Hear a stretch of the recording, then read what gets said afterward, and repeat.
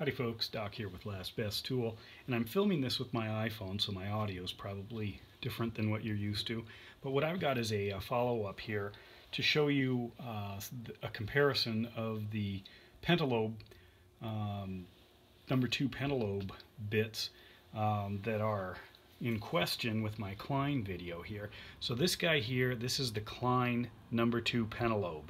For reference, this one up here is the Klein uh, number five pentalobe. It's a lot bigger.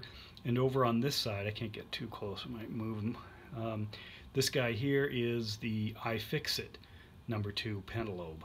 Um, and if you look, I'm going to try to move these, you can see that the Klein here, the one that's wiggling, is definitely larger than the iFixit. And I'm going to add one more in here now. Um, to compare.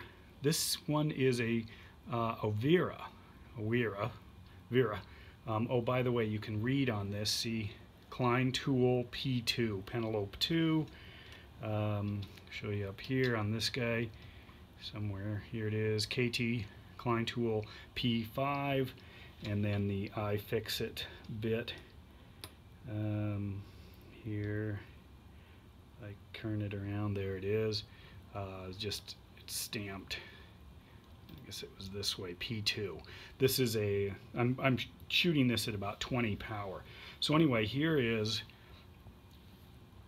the um, basically the the Wera and the um, line them up straight the Wera uh, is this wiggly one and the iFixit is this wiggly one and they are exact can see that.